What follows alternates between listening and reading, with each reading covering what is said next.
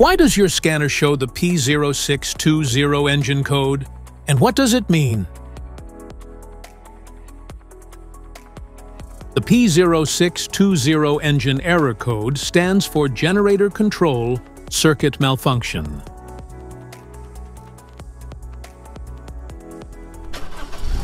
It indicates the powertrain control module or engine control module detects the issue when the electrical signals from the generator control circuit are abnormal. It means the PCM has detected an unexpected voltage in the generator control circuit. So, what causes this imbalance? Here are the most common culprits.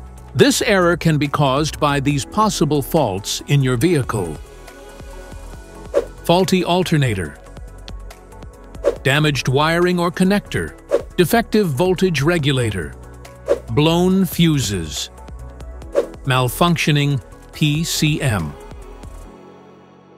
Each DTC code corresponds to a specific issue in your vehicle. The P0620 engine error code can appear in many OBD2 vehicles, including those from 1996 till now.